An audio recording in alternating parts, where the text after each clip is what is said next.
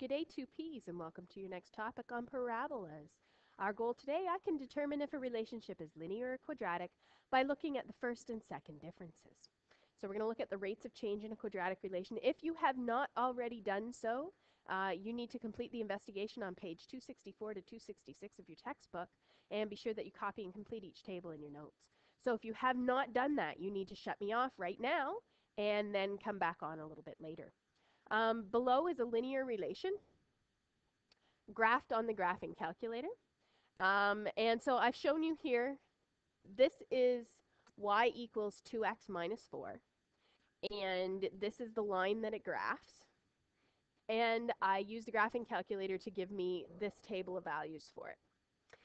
And so the first thing that I'm going to do is calculate the first differences for the table. So when I calculate the first differences, I'm looking at the difference between two successive entries in the y column, and I have to take the second one, which is in this case is negative 8, and subtract negative 10. Now remember, when I have negative 8 subtract negative 10, those two negatives in the middle change to positive, so it's negative 8 plus 10, uh, which gives me a positive 2.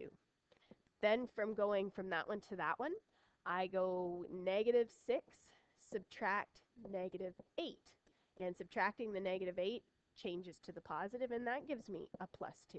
In fact, if you actually just look at this, you can see that it's increasing by 2 every time. You don't actually have to do this calculation, uh, but you can if you need to. And so um, going from one to the next, we are increasing by 2 every time. So the difference is 2. Now, when we worked with, uh, remember when we worked with linear relations, the difference in the y's along with the difference in the x's gave us slope, and slope was a rate of change in the relationship. So slope, and we gave it a value of m, was the change in the y divided by the change in the x. And in this case, the change in the y is 2, but the change in the x, if we take a look at this side, it's going up by a constant amount of 1 every time. So it's 2 over 1, which means that the slope in this case, or the rate of change, is simply 2. So it has a constant rate of change all the way along its graph, and that constant rate of change is 2. So as long as our x's go up by 1, the difference in the y's is the rate of change in the relationship. So what happens if we take a look at one that's quadratic? So this one, hopefully you'll see that it's quadratic. Here's the equation, and we know it's quadratic just by looking at the equation because of this little squared term here. We have to have an x squared in order for it to be quadratic. We know it's quadratic by looking at its graph because it's that nice smooth curve of a parabola. And so now we're going to take a look at its table of values. And we're going to do the same thing we did with the uh, with the line, we're going to take a look at what each of these go up by. So as I go from 10 to 1, that is actually going down 9. And I can get that by doing taking the second one, 1, minusing 10, and that tells me it's 9.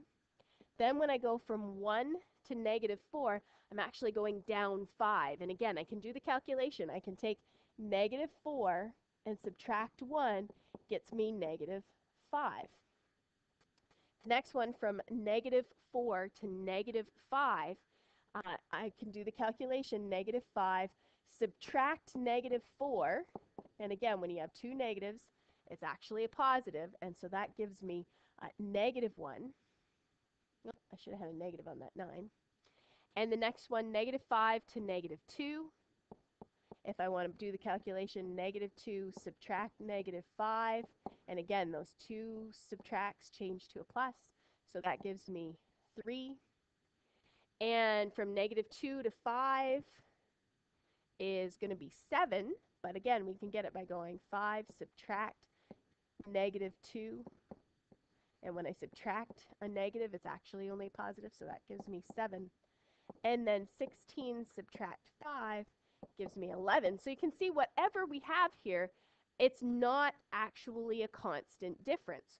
So we know if I didn't have these two things over here, we could tell just from the table of values that it's definitely not linear because it doesn't have a constant rate of change. Now, if I want to know if it's quadratic or not, I have to go to the next one. And I do these these differences here.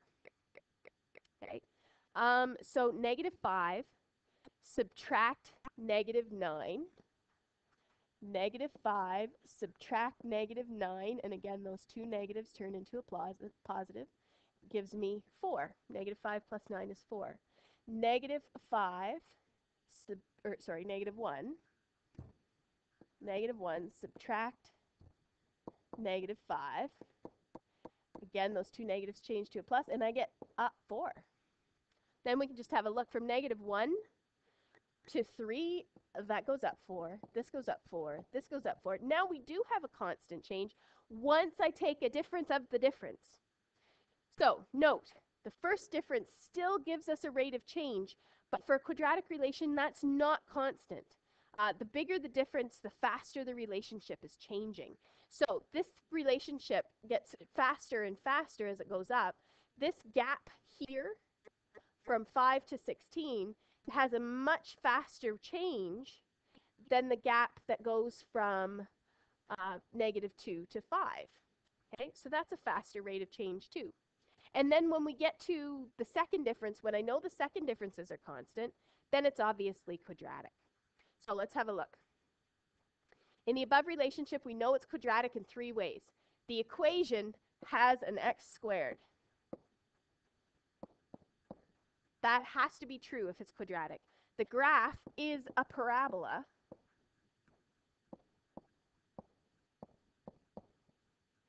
And the table has a constant.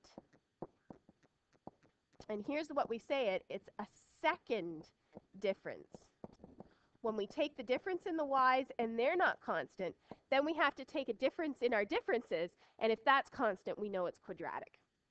If it's not, then we say it's neither. So summary, if we have a table of values and the x column has a constant difference, then we take the difference in the y's. If the difference is constant the first time we do it, then the relationship is linear. If the relationship is not linear, then we take a difference of the first difference. And if that is now the same, then the relationship is quadratic.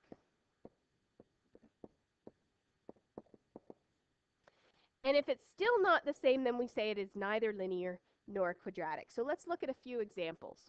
Determine whether each table represents a linear relationship, a quadratic relationship, or neither. The first thing we have to do is make sure that our x's go up by a constant amount. There has to be a constant difference between all of our x values, and those x's go up by 1, these x's go up by 2, so they're good. These ones go up by, we go negative 1. Those go up by 3 every time, so they're good. And these ones go up by 1, so they're good. So any, as long as our x's go up by a constant amount, this test works. If our x's didn't go up by a constant amount, we don't have enough information to solve this. So now I have to take the differences here and see what they go up by. So from 4 to 5, I'm going up 1. From 5 to 6, up 1. 6 to 7, up 1. 7 to 8, up 1. Since all of those are the same, this thing is linear. Let's look at B. 3 to 4 is up 1. 4 to 7 is up 3. 7 to 12 is up 5. And 12 to 19 is up 7. Okay, so it's not linear. Those things have to be the same if it's linear. Since it's not linear, I'm going to do this again. And 1 to 3 is up 2, 3 to 5 is up 2, 5 to 7 is up 2. Since it they are all the same this time, this thing is quadratic. It will form a parabola if we graphed it. Okay, looking over here, 0 to 1 is up 1, 1 to 8 is up 7, 8 to 27 is up 19. This thing's getting fast in a hurry. And 27 to 64 is up 27.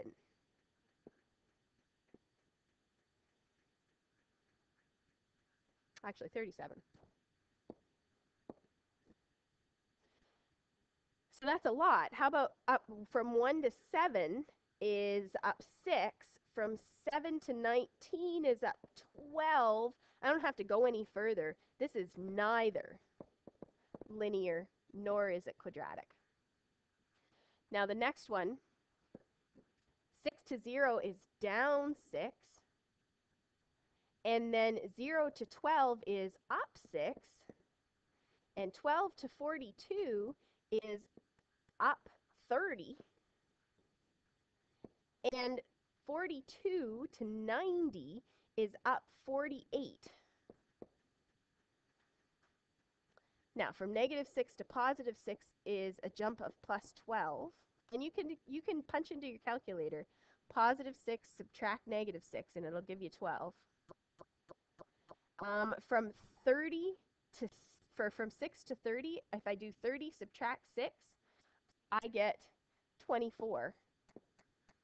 And once again, uh, I don't have to go any further. This is neither linear nor is it quadratic because the first difference is not the same and the second difference is not the same, so it's neither. Make a table for the sum, and sum means add, of the first five integers. What kind of relationship is it and how do you know? Okay, here's what I mean. I need to explain this a little bit more. The sum of the first integer, well, the first integer is 1. So the sum of 1 doesn't make any sense. So we're just going to call the sum 1.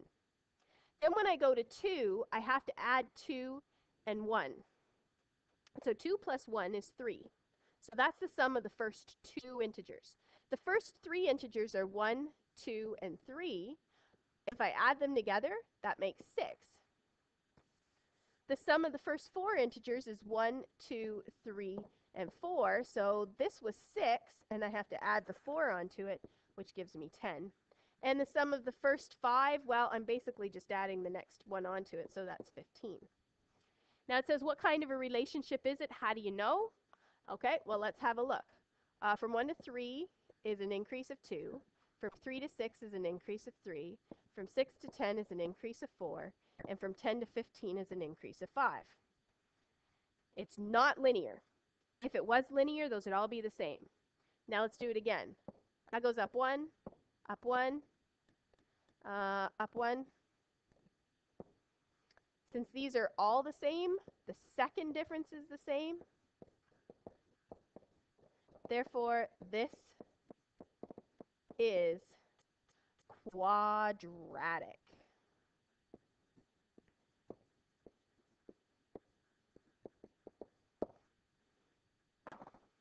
And that completes this lesson for today.